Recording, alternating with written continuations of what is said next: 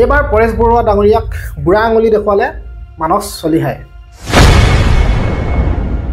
পুনৰ এটা ভিডিঅ' পুনৰ এটা ভিডিঅ' আগবঢ়াইছে মানস চলিহাই।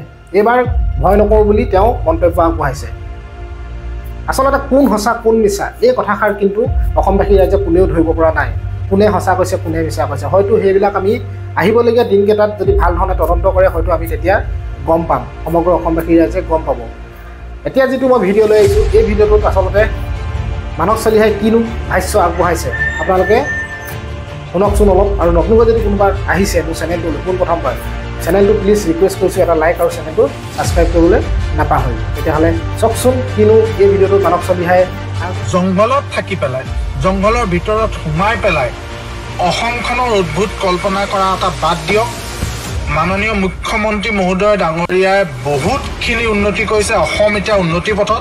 আৰু আপোনাৰ সেই জংঘলৰ ভিতৰৰ পৰা যে যি দম দি আছে আপুনি মোক বা মোৰ পৰিয়াললৈ মই এই বুঢ়া আঙুলিটোও ভয় নকৰোঁ। মই কোনো ধৰণৰ মানস বৰগোহাঁই নামৰ ল'ৰাজনক মই চিনিও নাপাওঁ কোনো ধৰণৰ তেনেকুৱা কামত মই জড়িতও নহওঁ আৰু বাৰে বাৰে আপুনি জংঘলৰ ভিতৰত সোমাই ক'ৰবাত মানে বাহিৰৰ দেশৰ পৰা আপুনি যি দাবী ধমকি মোক দি আছে সেইদৰে আপুনি বেলেগে ভয় কৰিব। মই ভয় নকৰোঁ। এই ধেমাজি শিশুসকলক হত্যা কৰিছিলে তেনেদৰে বোম ব্লাষ্টৰ যোগেদি তাৰ বাবেও আপুনি সম্পূৰ্ণ জগৰীয়া হ'ব মই আপোনাক এইটোৱে লাষ্ট বাৰ কৈ দিলোঁ। আৰু এটা কথা পৰেশ বৰুৱালৈ মই কৈ দিছোঁ। যে জংঘলত থাকি পেলাই জংঘলৰ ভিতৰত সোমাই পেলাই অসমখনৰ অদ্ভুত কল্পনা কৰা এটা বাদ দিয়ক। মাননীয় মুখ্যমন্ত্ৰী মহোদয় ডাঙৰীয়াই বহুতখিনি উন্নতি কৰিছে অসম এতিয়া উন্নতি পথত। আৰু আপোনাৰ সেই জংঘলৰ ভিতৰৰ পৰা যে যি দম দি আছে আপুনি মোক বা মোৰ পৰিয়াললৈ মই এই বুঢ়া আঙুলিটোও ভয় নকৰোঁ। বহুত অত্যাচাৰ কৰিলে আপুনি। মই এইটো একদম হেৰিকে কৈছোঁ। আপুনি যদি সঁচাকে আপুনি ইমান মানে মানে একদম সত্য আপুনি সত্য বিচাৰ কৰে মই আপোনাক এটা কথা কৈছোঁ আহক আপুনি য'তে মাতে মই ত'তেই যাম। আপুনি কৈছে নহয় চৌব্বিছ ঘণ্টাত হৈ কঢ়াব যে মই চৌব্বিছ ঘণ্টা কি মই এইমাত্ৰ কৈছোঁ আপোনাক মই কোনো ধৰণৰ মানস বৰগোহাঁই নামৰ ল'ৰাজনক মই চিনিও নাপাওঁ কোনো ধৰণৰ তেনেকুৱা কামত মই জড়িতও নহওঁ আৰু বাৰে বাৰে আপুনি জংঘলৰ ভিতৰত সোমাই ক'ৰবাত মানে বাহিৰৰ দেশৰ পৰা আপুনি যি দাবী ধমকি মোক দি আছে সেইদৰে আপুনি আপুনি বেলেগে ভয় কৰিব মই ভয় নকৰোঁ। আৰু আপোনাক ক্লিয়াৰ কৰি দিছোঁ সেই দাবী ধমকি বাদ দিয়ক এটা পৰ্যায়লৈকে এজন মানুহক ভয় খুৱাব পাৰে। বুজিছে নাই? আপোনাক বহুত আপুনি দাবী ধমকি দিলে আপোনালোকক সন্মান কৰিছিলোঁ। মই এইটো কথা কৈ দিছোঁ আপোনালোকক সন্মান কৰিছিলোঁ। আমি। জন্মৰ পৰা আপোনালোকৰ সংগ্ৰাম কিন্তু এতিয়া এটা কথা কৈছোঁ আপোনাৰ এই যি হাবিৰ ভিতৰৰ পৰা মোক ধমকি দি আছে মই চৌবিছ ঘণ্টাত হেৰি কৰে আৰে হ'লেহে মই কিবা বেয়া কাম কৰিলেহে আপুনি ক'ব পাৰিব। কিন্তু আপুনি যি উচতনি দিছে সেই উচতনিৰ পৰা আমাৰ যদি পৰিয়ালৰ কিবা হয় আমাৰ মোৰ পৰিয়ালৰ কিবা এটা অনিষ্ট হয় তাৰ বাবে সম্পূৰ্ণ জগৰীয়া আপুনি যেনেকে মানে এই ধেমাজি শিশুসকলক হত্যা কৰিছিলে তেনেদৰে বোম ব্লাষ্টৰ যোগেদি তাৰ বাবেও আপুনি সম্পূৰ্ণ জগৰীয়া হ'ব। মই আপোনাক এইটোৱে লাষ্ট বাৰ কৈ দিলোঁ। এইটোৱে মোৰ লাষ্ট ভিডিঅ' মই ডিজিটেল মিডিয়া হওক ছ'চিয়েল মিডিয়ালৈ পঠাইছোঁ। নিষিদ্ধ ঘোষিত সংগঠন আলফাৰ যি সৰ্বধানী যি মানে সৰ্বে সৰ্বা। পৰেশ বৰুৱালৈ মই কৈছোঁ যে তেওঁ যি লুকা ভাকু খেল খেলি পেলাই যে মোক লগতে মোৰ পৰিয়ালৰ এনেধৰণে তেওঁ মাইণ্ড গেম খেলিছে যাতে মানুহে গৈ মোক আৰু মোৰ পৰিয়ালক এটেক কৰক আৰু এইটো এটা মানে যে মানুহে একেলগে মুভ লাঞ্চিং টাইপত কৰিবলৈ তেওঁ প্লেন কৰিছে। চ' মই এইটো বস্তু একদম ক্লিয়াৰ কৰি আপোনালোকক ক'বলৈ গৈছোঁ। তেওঁ একদম এইটোত এশ শতাংশই ছাকচেছফুল হ'ল যোৱা দুদিনত। বাৰে বাৰে তেওঁ মোক এনেকুৱা কিছুমান মিছা অপবাদ দিছে আৰু সেই মিছা অপবাদবোৰ ছ'চিয়েল মিডিয়াত ইজনতকৈ ইজনে লিখি আছে। মোক ইঞ্জিনিয়াৰ নহয় বুলি কৈছে মই চাকৰি নাই কৰা বুলি কৈছে মই ৰৰ অফিচাৰ বুলি কৈছে এছ বি অফিচাৰ বুলি কৈছে। ইয়াৰ যোগেদি কি হৈছে যে তেওঁ দেখাব খুজিছে যে মই অসমীয়া ল'ৰাক আলফালে মানে পঠাই পেলাই এজেণ্ট হিচাপে মই আলফা ধ্বংস কৰিব।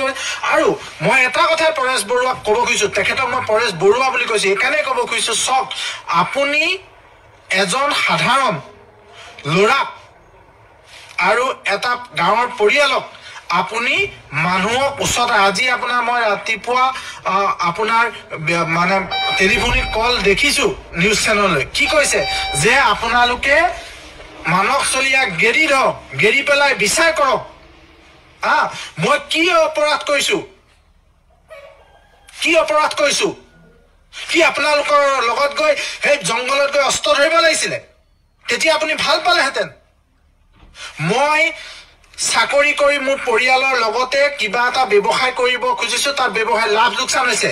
মই কোনো অসমীয়া জাতি অহিত কৰা নাই ক'তো মই বোম ব্লাষ্ট কৰি শিশু হত্যা কৰা নাই।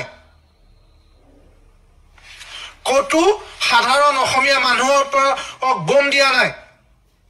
চ' এটা কথা আপোনাক ক্লিয়াৰ কৰি দিছো আপুনি মানুহক যি আহিছে চক মোক মাৰিব পাৰে আপোনাৰ হাতত বন্দুক আছে আপোনাৰ বোম আছে আপোনাৰ সেইটোৱে পেচা সেইটোৱে আপোনাৰ এতিয়া আপোনালোকৰ সেইটোৱে থাকিল যে অসমীয়া ল'ৰাক মুখ লাঞ্চিং কৰাই মানুহক উচতাই সেইটো মানে মৃত্যুদণ্ড মানে কেনেকে ধ্বংস কৰিব পাৰে সেইটোৱে আপোনাৰ এতিয়া টাৰ্গেট মই যি বুজি পাইছো। আজি মই বহুত ক্ষোভত কৈছো আৰু এটা লাষ্ট কথা আপোনাক কৈছো শুনক।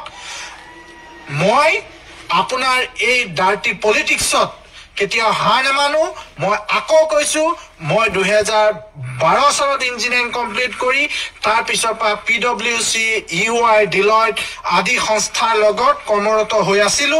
তাৰ যিখিনি পইচা পাইছে তাৰ মই ব্যৱসায় কৰিছিলো ব্যৱসায়ত মই লোকচান খাইছো সকলোৱে লোকচান খায়। সকলোৱে লোকচান খায়। আৰু মই সেই ব্যৱসায় যোগেদি শিকিব পাৰিছো ভুল কৰিছো আকৌ কিন্তু মই অসমতে থাকি সেই কাম কৰিব চেষ্টা কৰি আছো। কিন্তু আপুনি কি কৈছে? আপুনি মিছা অপবাদ দি। মোৰ লগতে মোৰ গোটেই পৰিয়ালটোক আপুনি এনেকুৱা এটা পৰ্যায়লৈ লৈ গৈছে যে মানুহে মোক মোক লাঞ্চিং কৰিবলৈ ওচৰতে আছে। আৰু আপুনিতো নিজেই সশস্ত্ৰ অংগবা কি দিছে মানে মোক কেনেকে গুলিয়াব সেইটো মইতো চাগে প্লেন কৰিছেই। কাৰণ আপুনি এইটোও দেখাব খুজিছে যে এজন ৰ অফিচাৰ এজন এছ বি জোনেল হেডক গুলিয়াই আমি হত্যা কৰিলোঁ। সেইটোলৈ আপুনি বাবা লগ হৈছে। কিন্তু প্ৰকৃততে মই এজন সাধাৰণ যুৱক। আপোনালোকক মই প্ৰত্যেকটো নিউজ চেনেলে মোৰ চেলাৰী শ্লিপ পঠাই দিছো। আপোনালোকে তাত মাৰি চাওক। মোৰ পি এফৰ পৰা পান কাৰ্ডৰ আধাৰ লিংক সকলো ওলাই আহিব। এনেধৰণে মিছা অপবাদ দি এটা জীৱন এটা পৰিয়াল ধ্বংস কৰা যদি আপুনি সংগ্ৰাম কৰিব খুজিছে সেই সংগ্ৰামত মই থু পেলাই দিওঁ। সেই সংগ্ৰামে আপুনি অসমীয়া জাতিটোক তললৈহে নিছে। মিছা কথা কৈ আপোনাৰ এটা পাৱাৰ আছে বাবে আপোনাক এশজনে শুনে বাবে আপুনি সেই মিছা আশ্ৰয় লৈ কোনো বেছিক নোহোৱাকে আপুনি মোক অপৰাধী সজাইছে। আৰু সেয়া সকলোৱে জানে অসম চৰকাৰেও জানে যে মই কোনো ধৰণৰ আৰক্ষী বিষয়া নহয় কোনো ধৰণৰ ৰ এজেণ্ট নহয়।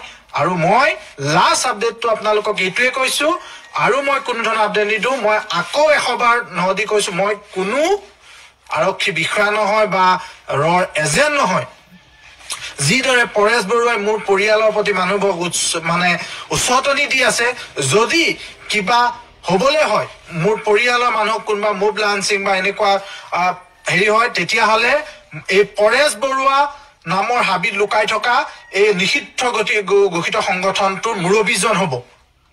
মই এয়াই মই লাষ্ট অনুৰোধ কৰি পেলাই মোৰ লাইফটো সামৰণি মাৰিছো। আকৌ কৈছো মই কোনো ধৰণৰ ৰৰ অফিচাৰ নহয় কোনো ধৰণৰ মানৱ বৰগোহাঁই নামৰ কোনো যুৱকক মই জীৱনত কাকো ট্ৰেইনিং দিয়া নাই। আৰু ইয়াৰ ফলত যি মানসিক অত্যাচাৰ হৈছে সেই মানসিক মোৰ ছ'চিয়েলি যি সামাজিকভাৱে ধ্বংস কৰিছে এটা নিষিদ্ধ সংগঠনৰ মুৰব্বীয়ে। আৰু তেওঁলোকৰ এই মানৱ বৰগোহাঁই কি তেওঁ সমাজ সংস্কাৰক নেকি?